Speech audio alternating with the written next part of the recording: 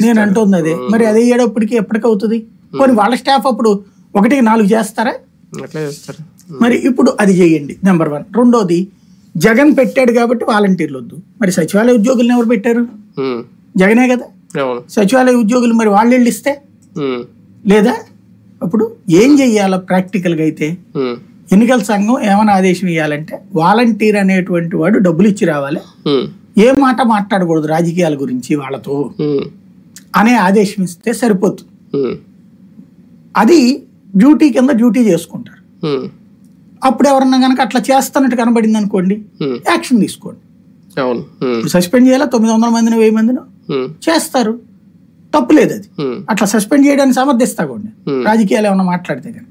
ఈ టైంలో మాట్లాడకూడదు.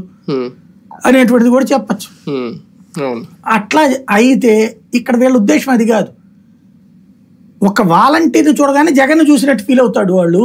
అది. అసలు ఆడ కనబడకూడదు అది ఎక్కడ విచిత్రం అసలు? అర్థమే ఉంది దానికి. జాగ్రత్త.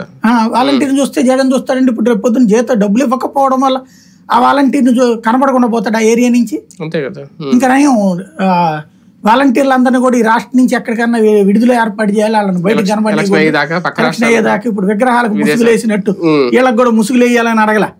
అట్లా అడిగేవాళ్ళేమో. అది